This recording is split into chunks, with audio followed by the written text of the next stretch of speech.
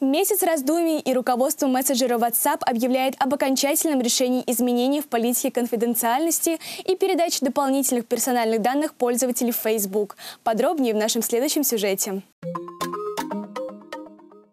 В настоящее время любой программный продукт является источником сбора информации. Он может содержать как персональные сведения, так и некоторую частную информацию. К примеру, местонахождение человека и какие-либо действия на его устройстве. Обычно у программных продуктов есть определенные пользовательские соглашения и настройки. Как раз в настройках и находится информация о том, какие сведения используются в деятельности определенного продукта. То, что сейчас мы видим э, на примере э, WhatsApp, ну, это такой частный случай, который показывает, что, в общем-то, компания э, действительно может использовать сведения, получаемые от своих пользователей в интересах и других третьих сторон. Но в данном случае Facebook является компанией, э, которая является разработчиком э, WhatsApp. Есть такое понятие, как корпоративный сговор. В таком случае данные, полученные из одного программного продукта, предоставляются в пользование другому. Но WhatsApp и Facebook решили это дело узаконить путем получения согласия от пользователей. Если он не согласен с передачей части информации о его активностях, то разработчик отстраняет его от сервисов. Так или иначе, у любого программного продукта могут быть как открытые возможности, так и скрытые. Что касается скрытости, то здесь пользователь не может определить, какая именно информация собирается, передается и в последующем используются. Но в политике WhatsApp все немного иначе. Здесь, в общем-то,